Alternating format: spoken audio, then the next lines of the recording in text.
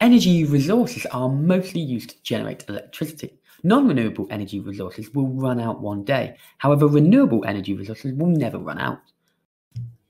Examples of renewable energy are wind, solar, water, waves, biofuel, hydroelectricity, tides, and geothermal. Examples of non renewable energy are coal, oil, and gas. Let's go through these different types of energy. Wind. It is renewable. The advantages are that it has no fuel cost once it's set up, then there is no pollution. However, disadvantages is that it's not always reliable as it's not always windy, they can be noisy, and some people think they are ugly. Solar. It is renewable. The advantages are there's no fuel cost once set up, no pollution produced. The disadvantages, however, is expensive to set up and you get no energy at night.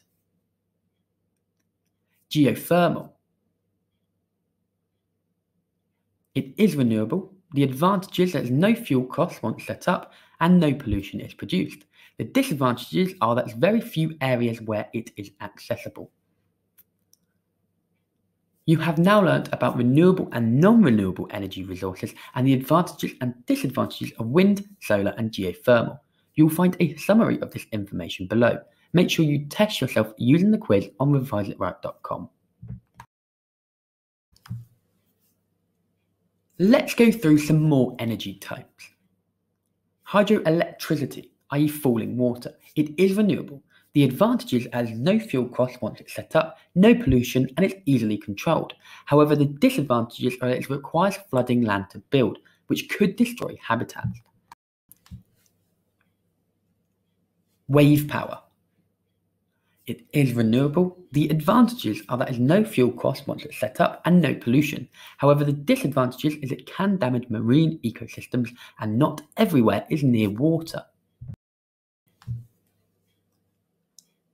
tidal. Tidal barrages using gravity. It is renewable. The advantages is that it has no fuel cost once set up, no pollution, and is reliable.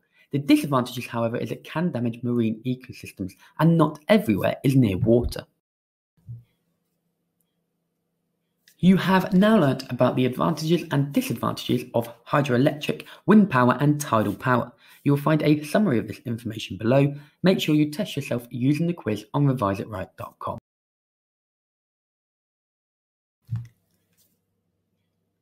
Let's go through some more ways to generate energy. Biofuels. They are renewable. The advantages are that they're low cost, readily available, and carbon neutral. However, large scale land use is needed, which requires lots of water, and also destruction of habitats is needed to grow crops.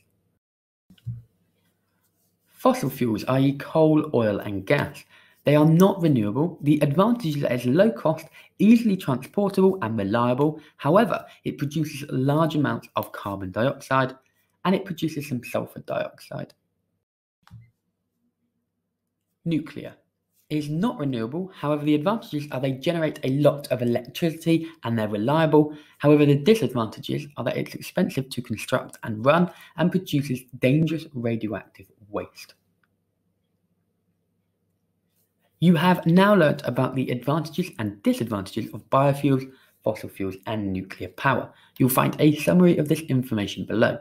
Make sure you test yourself using the quiz on reviseitright.com.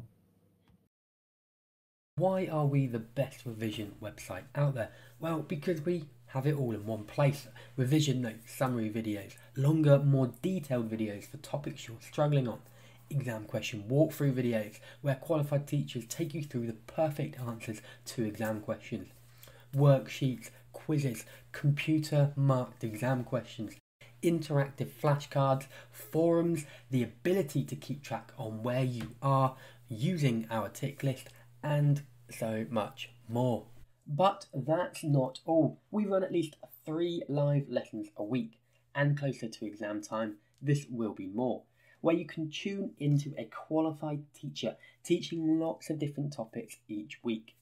The lessons will be interactive and we go through exam questions and quick quizzes to ensure understanding as you go. We also run drop in sessions where you can drop in, ask a tutor anything live, get the answer that you need, and leave. These are included in our silver and gold membership. This means that for an extra £10 a month, you can access at least 12 hours of lessons a month. That's under £1 an hour, which is incredibly cheap. Still not convinced? Try us completely free for seven days and cancel anytime, completely free of charge. We offer this because we're convinced that you'll love us. So try us now.